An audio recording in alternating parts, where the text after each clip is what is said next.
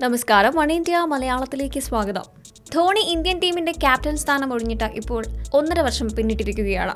എന്നാലും ഇപ്പോഴും team India കളിക്കളത്തിൽ ഇറങ്ങുമ്പോൾ ടീമിന്റെ കടിഞ്ഞാൻ ധോണിയുടെ കൈകളിൽ തന്നെയാണ്. ഏഷ്യ കപ്പിലെ ഇന്ത്യ ബംഗ്ലാദേശ് പോരാട്ടം തന്നെ അതിന്റെ തെളിവായിരുന്നു.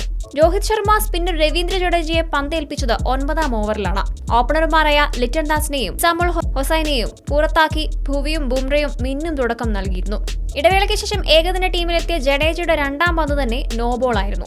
തുടർന്ന് ഫ്രീ ഹിറ്റും മൂന്നാം പന്തും ഷാക്കിബ് ബൗണ്ടറിയിലേക്ക് പായിച്ചു. ഏതൊരു ബൗളർക്കും ആത്മവിശ്വാസം തകരുന്ന ഒരു നിമിഷം. അപ്പോഴാണ് ധോണിയുടെ ഇടപെടൽ. നാലാം പന്തിന് മുൻപായി ക്യാപ്റ്റൻ രോഹിത് ശർമ്മയ്ക്കടുത്തെത്തി ധോണി. സ്ക്വയർ ലെഗിൽ ശിഖർ ധവാനെ നിർത്താനായിരുന്നു ധോണിയുടെ നിർദ്ദേശം. അത് അപ്പാടെ അനുസരിക്കാൻ രോഹിത് ശർമ്മ തയ്യാറുമായി. ഇതെല്ലാം ഷാക്കിബ് അൽ ഹസൻ കാണുന്നുണ്ടായിരുന്നു. എന്നിട്ടും ജഡേജയുടെ മൂന്നാം പന്ത് ഷാക്കിബ് സ്വീപ് ചെയ്ത് ധവാന്റെ കൈകളിലേക്ക് ഒതുക്കി. ഇതായിരുന്നു ബംഗ്ലാദേശിന്റെ ഇന്നിംഗ്സിൽ നിർണായകമായത്. ആത്മവിശ്വാസം വീണ്ടെടുത്ത രവീന്ദ്ര ജഡേജ പിന്നീട് തുടരെ തുടരെ വിക്കറ്റുകൾ പിഴുതു. ഇന്ത്യൻ ബൗളർമാരിൽ ഏറ്റവും കുറവ് റൺസ് വിട്ടുകൊടുത്ത് ഏറ്റവും കൂടുതൽ വിക്കറ്റ് വീഴ്ത്തിയ പ്രകടനം നടത്തിയാണ് ജഡേജ പന്ത് നിലത്തുവെച്ചത് പത്ത് ഓവറിൽ ഇരുപത്തി ഒൻപത് റൺസ് മാത്രം വിട്ടുകൊടുത്തായിരുന്നു ജഡേജ നാല് വിക്കറ്റുകൾ പിഴുതതും മത്സരത്തിൽ ഏഴ് വിക്കറ്റിനാണ് ഇന്ത്യയുടെ വിജയം. ബംഗ്ലാദേശ് ഉയർത്തിയ നൂറ്റി എഴുപത്തിനാല് റൺസ് വിജയലക്ഷ്യം ഇന്ത്യ മൂന്ന് വിക്കറ്റ് നഷ്ടത്തിൽ മറികടക്കുകയായിരുന്നു. Sports desk one India Malayalam.